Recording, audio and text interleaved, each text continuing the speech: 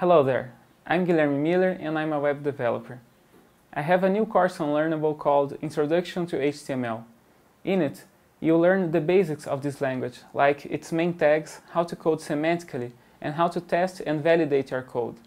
It's a beginner's course, so if you don't know anything about HTML, this is a great place to start. Check out this lesson from the course.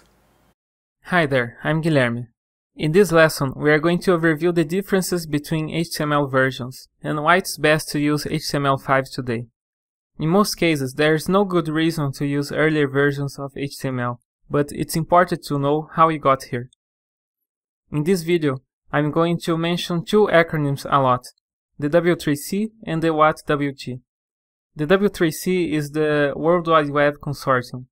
To quote themselves, the World Wide Web Consortium, W3C, is an international community that develops open standards to ensure the long-term growth of the web. Basically, they standardize languages like HTML and CSS. The specifications pass through a process of working draft, candidate recommendation, proposed recommendation, and finally W3C recommendation, in which the specification can be considered final and published for the browser makers and web developers. The other group, the WhatWG or Web Hypertext Application Technology Working Group, was founded by individuals of Apple, Mozilla Foundation, and Opera Software in 2004. HTML4 was already 7 years old and apparently no progress was being made in improving the language to tackle the new challenges that were arising at the time, like web applications and the ever more complex websites. The W3C was concerned with XHTML 2.0, a version of XHTML that was not even backwards compatible with the current HTML. In other words, it could break the internet. Slowly, the web community noticed that they didn't need to wait for the W3C to do something about HTML, and that the browser makers and web professionals could have a say in the future of web development. After many years of work and collaboration of the WhatWG and companies like Mozilla, Apple, Microsoft, and Opera, HTML5 became a reality and its concepts were being published all around the world. I personally started using it in some way or, or another in 2009 to 2010.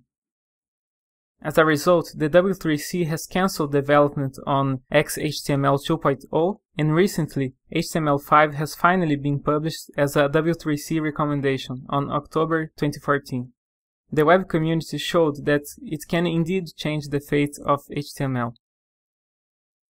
First, I'll show you HTML4, a version that was published as a recommendation in 1997. This particular version, HTML 4.01, was published as a recommendation in 1999. Here it is. The tags are in uppercase here, but that was not mandatory.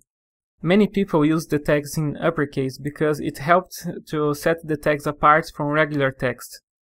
The practice of using lowercase tags became more popular after XHTML, in which lowercase tags are a part of the rules. Here you can see that the rules are as loose as the current version of HTML.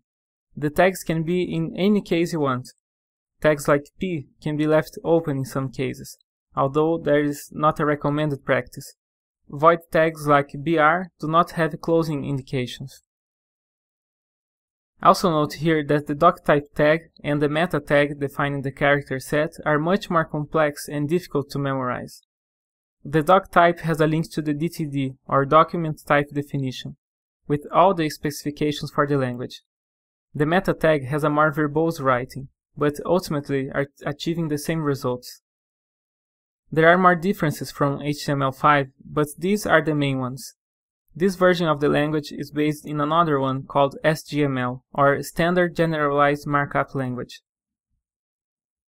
In an effort to simplify the implementation of HTML and its use by browsers and developers, as well as making it more easily extensible, the W3C began work on an XML implementation of HTML. That is, a version of the HTML language based in the XML language, which stands for Extensible Markup Language.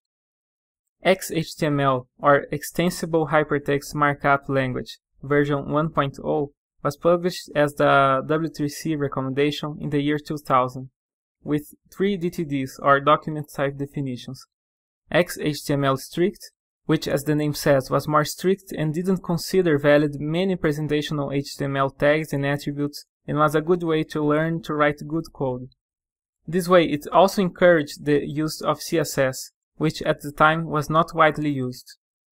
The other DTD is XHTML Transitional, a more forgiving version, and the last one is XHTML Frameset, for use with frames, something that you almost don't see anymore. Let's see an example of a slightly newer version, XHTML 1.1, published as a recommendation in 2001. Here you can see that some things are a little different. XML is much stricter with code, and that taught developers to code better. All tags have to be closed, even void tags, which can be called self-closing, like this meta tag here and the br tag here. There's also the declaration that this is an XML document, and the doc type is very complex as well. The HTML tag contains a lot of links to specifications, and the meta defining the charset is the same of HTML4's. As this is based on XML, the rules of the language apply, like having to write all tags in lowercase. All attributes must have quoted values, and that's not necessarily the case in regular HTML. All tags must close, even tags that have no content. Nesting of tags must be correct. For example, I can't write here a strong tag then put a span tag inside and close them incorrectly like this.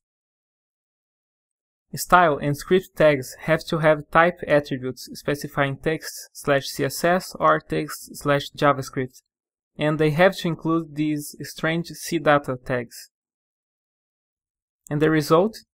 XHTML, along with the Web Standards movement, brought a lot of good practice to web development, but it also had its problems. One of them is that XML is supposed to be a strict language, and theoretically, browsers should throw an error when any part of the code was incorrect. That, of course, never happened. Also, for the document to be true XML, it would need to be served to the browser as an XML file.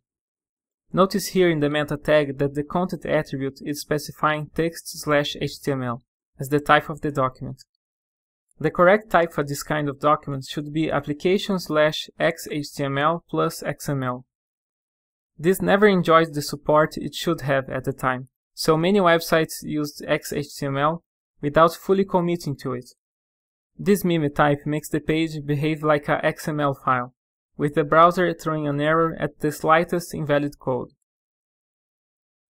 There is also an XHTML-like implementation for HTML5.